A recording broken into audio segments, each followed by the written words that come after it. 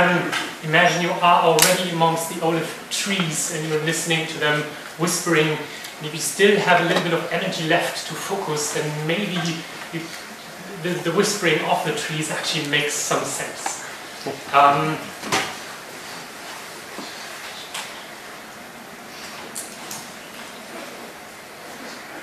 so I'll start with conclusions.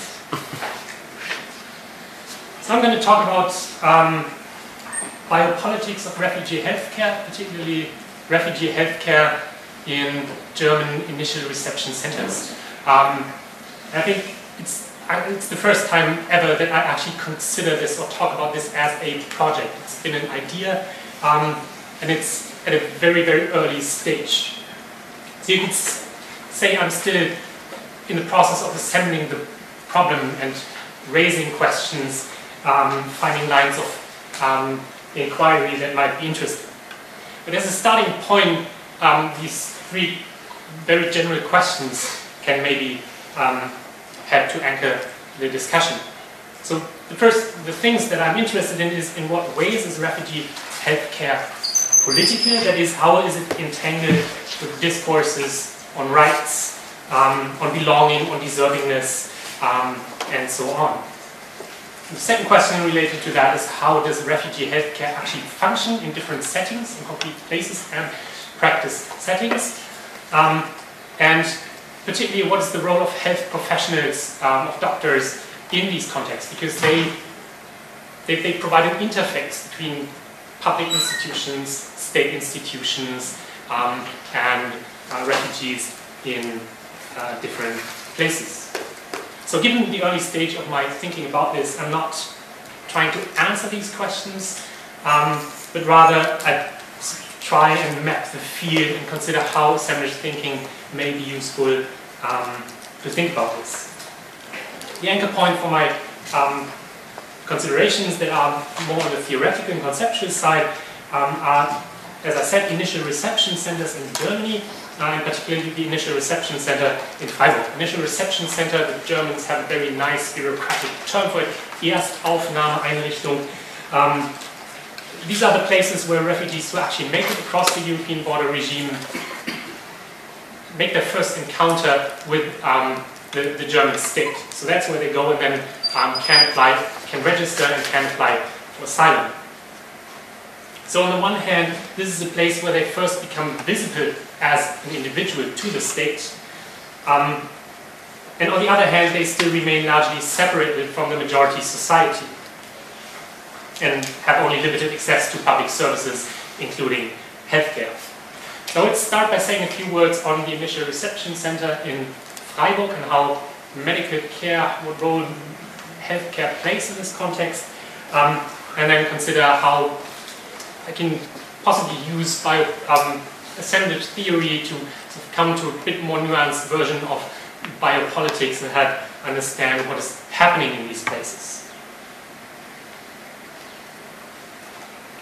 So refugees that um, arrive in Germany are distributed amongst the different um, states and brought to these initial reception centers. Um, and in these centers, as I said, they are registered and can then apply for asylum. In theory, people are meant to stay there for about six weeks. Um, in reality, they often stay there for several months, uh, sometimes up to a year or even more. The centers usually have the form of a camp, um, and this is an image of the initial reception center in Freiburg. So you see that the compound is um, fenced and guarded, so there's security personnel um, standing at the, that's the front entrance gate. Um, but people are allowed to leave that compound and move, at least to some extent, um, around the city. The tent on the, um, the large tent here on the left, on the back, is um, there's some common spaces here, uh, including catering, and the, the, large tents on the right are the places where people actually sleep with very limited um, privacy, obviously. So the, the landlord of this camp is the state of Baden-Württemberg, and the center is operated by European Home Care, which is a private company. In addition, there's private security personnel and catering, um, also all um, private companies paid by the state. You, so, you, also see these two rows of containers here, um, and the, the, front row are some administration, social service offices, and the back row is actually a small polyclinic organized by the university clinic in Freiburg. Um, and it's a project that has been initi initiated by the university clinic um, and is now supported by the state. Um, and on several days a week, they offer consultations for refugees there in general medicine, but also in specialized fields um, such as pediatrics, infectiology, gynecology, and also psychotherapy, uh, which is relatively rare if you um, compare that to other places. And it's kind of become a role model for how refugee healthcare could be organized. So while the form of the, the center is that of a camp, and it's been called a camp, and also criticized legitimately, I would say, um, for, for, excluding people. Um, I would still say it's not a, a camp in, an, in, in, the sense of Agamben. It's not a state of exception where people are actually reduced to bare life. It's true that life is administered and, and governed in particular ways and different from um, the majority of society. Um, it's, it's valued differently, governed differently. Um, it's an exceptional situation, but it's not a state of exception in that narrow sense. People appear here first as subjects with certain rights um, and needs uh, and so forth. So this situation, the medical condition of refugees um, is part of the politics of population, becomes part of the politics of population in several respects. So for one, um, there's a mandatory health screening and vaccination organizing, organized by the health um, authorities, and that, of course, is motivated, um, of course, motivated by concern that um, refugees might actually bring in infectious diseases and pose a risk to um, the majority society. Then the bodily condition, the health condition, can um, mean a provision to deport in some cases of severe illness um, so here health to some extent interferes with the logics of the um, of the security state.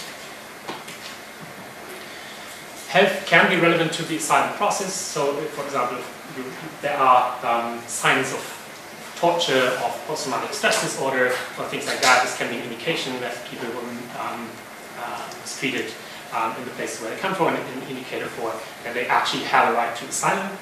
And then finally, um, they have the right to healthcare, but that right is restricted um, by federal law. So they are granted some treatments, but not um, to the same extent than uh, the general um, population in Germany. What this indicates is that the practice of medical care, the work of health professionals is situated at um, a point where different logics overlap and sometimes um, interfere or conflict. So there's state logics of inclusion and exclusion. Um, there are medical ethics um, that play a role in how people interact.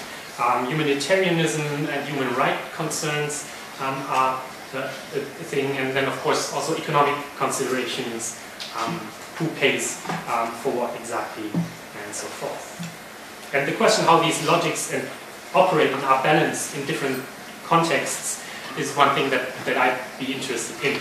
So, um, for example, I already said that this example in Freiburg is to some extent particular. Um, it, healthcare is offered on site and is organized by the university clinic, so people can go and see doctors during consultation hours. Whereas in other places, um, refugees first have to get a voucher, and they get that voucher by the social authority. So there's a bureaucrat actually that has to decide whether a request to see a doctor is legitimate or not which of course they're usually or often not qualified to do. And with that voucher, then they go to a clinic um, somewhere in the city or practice.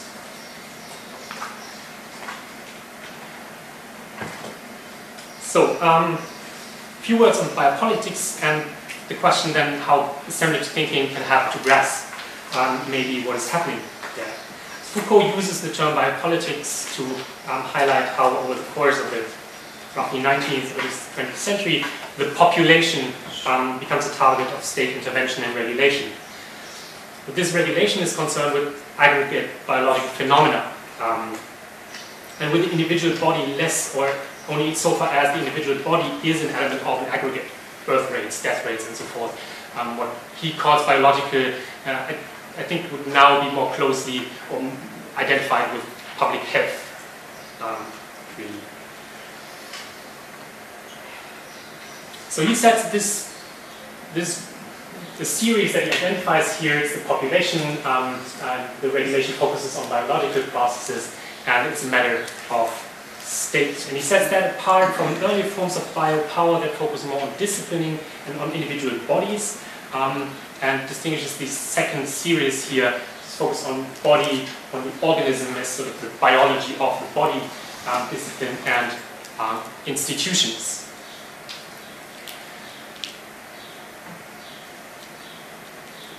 Generally discussions on biopolitics um, often revolve around relatively large themes or extremes um, and scales. So it's about the organization of life and death, um, the state or of society or capitalism.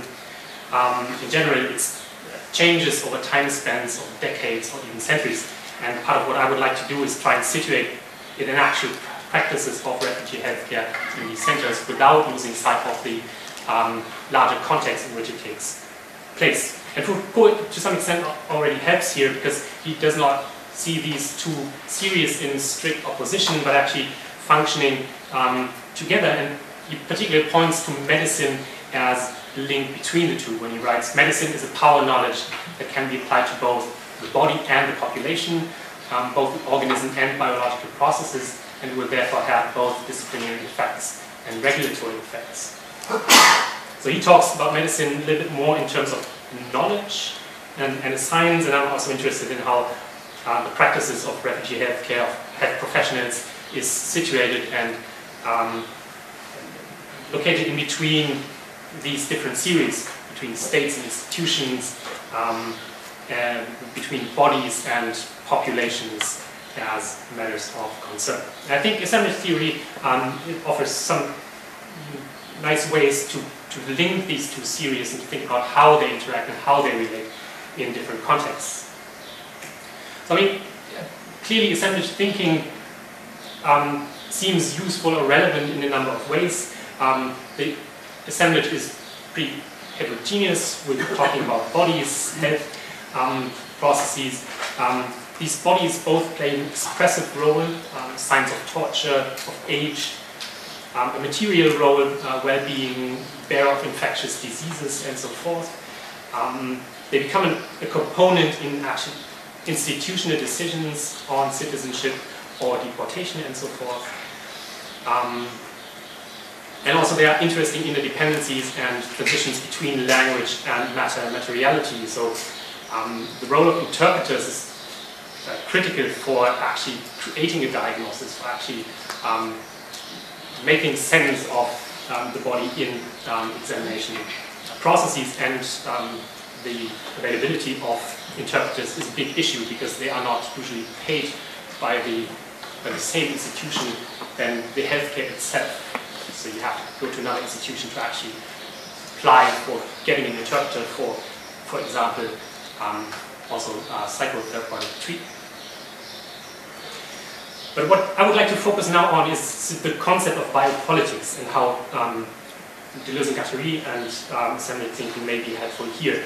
And a particular point where I think that might be useful is when they write on micropolitics and segmentarity. Um, because there they we consider the relation or relations of micro and macro, molecular and molar, and the relations of state institutions and organizations and forms of um, power. So Deleuze and Guattari distinguish the rigid and a subtle form of segmentarity. Um, and they initially attribute that to um, state societies versus so-called primitive societies. Rigid segmentarity means that distinctions between who belongs where, between men, women, and so forth, um, originate in a single center, or at least resonate all in a uh, single center. Subtle segmentarity, in contrast, points to the possibility of multiple centers where distinctions are made, and different distinctions are made that then overlap and um, come to end up in certain organizations of who belongs to something. Or in my case, for example, is um, uh, has a legitimate um, desire of, of health treatment. So they themselves write, quote, in the rigid mode, binary segmentarity stands on its own and is governed by great machines of direct binarization that origin in the state. Whereas in the other mode, binarities result from multiplicities of n dimensions. Secondly, they point also to state institutions and institutional contexts and argue that these do not necessarily follow a singular state logic. That's also um, part of, of, of what Manuel has talked about uh, with regards to um, relations of exteriority. So the institutions are not exhausted by a state system or a state logic of governing um, refugee healthcare. There's flexibility in what practitioners do in the diagnoses they, um, they create and in the way that they interact with um, different also state authorities. And that, so this, as Deleuze and Guattari put it, there is that suppleness in, in every institution, also in modern state institutions. Um, there's a suppleness of, of and communication between offices, bureaucratic perversion, permanent inventiveness, or creativity practiced even against administrative regulations. And I wouldn't pose that as a definite analysis of the situation, but rather as something to look at what are the flexibilities, what are the flexible spaces um, that um, health professionals use in their role at the interface of state or public institutions and uh, refugees. So biopolitics of refugee health then um, should be considered a multiplicity um, with an interaction of actors and logics of, of different variables that do not necessarily follow one singular logic. So if you take the, the metaphor of the knobs, it's not, there are several knobs, that's clear, um, but it's not one logic, one, one person or one imaginary person or rational that um, decides on how to position these knobs. Rather, there are different people at different places turning these knobs and producing different outcomes. What are the implications? First, I think then, uh, rather than talk about the biopolitical state of the society or of refugee healthcare in Germany, I think we're dealing with different biopolitical regimes or different phase states of biopolitics. Um, and these states tend to operate with different notions of population and different relations between individuals, subjects, and populations. So I, I try to draw that a um, very rough sketch. You could say it's a, an attempt to draw a phase space of biopolitics. Um, and so, so the, the, the, hard line here um, that you could see as maybe um, the European border regime and this security state distinction who's in and who's out. If you're beyond that, um, that line on the left, you're in a space where um, refugees are only considered in, in numbers, not as, not as subjects, not as individuals um, but as numbers of people trying to get to Europe as a number of deaths um, in the Mediterranean. But then there's a threshold that they cross when actually making it through the, um, that um, um, border security regime and make it to that circle which could be the camp, the reception camp. And here, of course, state security logics are still at play, but they, they interfere and interact with um, other different logics, such as humanitarian logics, medical ethics, and so forth. Um, and also they sort of treat the individual differently in comparison to um, the majority um, population. So arriving at the reception center marks a change in the state of biopolitics. You pass a threshold, you become visible to the state with a history and with certain rights, but yet as a group you are still kept apart from the majority society in terms of economic participation, security, political participation, um, but also right to have care and so forth.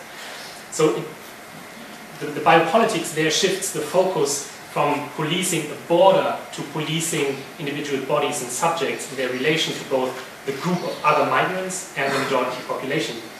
So in healthcare, we're now dealing with public health, and um, the public of public health is no longer as clearly separated um, spatially as before. So the, also the, the public that the doctors talk about in public health is not as clearly distinguished between this, the German population and this the migrant population. Um, it tends to dissolve also these binaries. Um, for example, by then emphasizing, many of the people that I, I spoke to emphasize that um, migrants are not the ones posing a risk to a majority of society, but actually are the population at risk of infectious diseases, partially because of their um, accommodation in uh, such large reception centers. Are you finishing?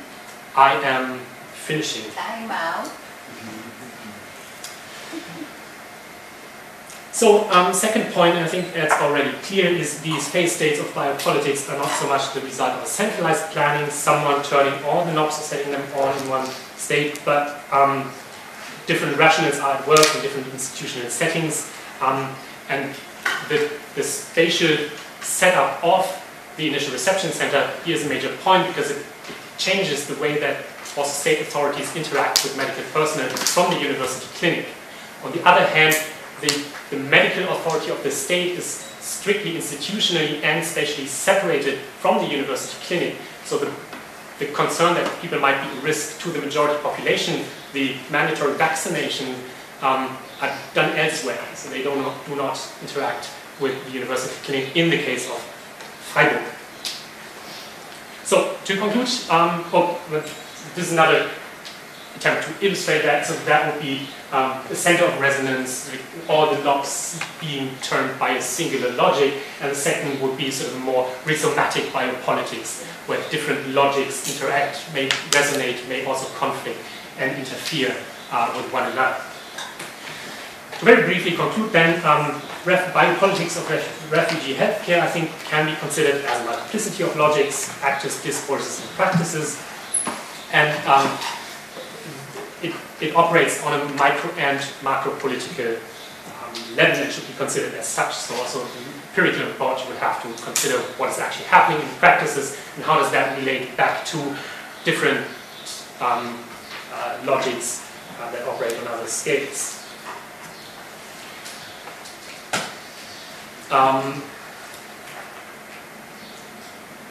and importantly, I think biopolitics is not something that just belongs to a society and it marks a state of a society, but can be considered as different regimes that differ in their treatment of the relation between individuals and groups, and also take different forms depending on um, the spatial setup, in that case, for example, of these um, reception camps. And at that. Thank you.